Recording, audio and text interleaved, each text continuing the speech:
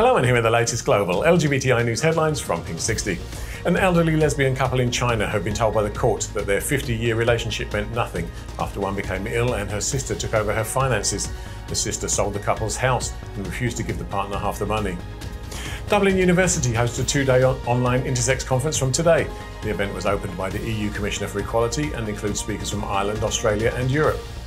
A lesbian kindergarten teacher has become the focus of a hate campaign in Israel with graffiti, posters, and online abuse.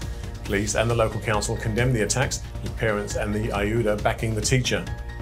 Following alerts about violent conversion therapy videos, YouTube has closed the African Evangelist channel TB Joshua Ministries. Facebook removed several of their posts, but stopped short of closing the entire channel. And finally, Antoine Fuqua is producing a new film adaptation of Tennessee Williams' Cat on a Hot Tin Roof. The tale of a dysfunctional family and suppressed sexuality will be based on the award winning revival of the play. You can find out more on these and other stories on our social media pages. Join us again next time for more LGBTI news headlines.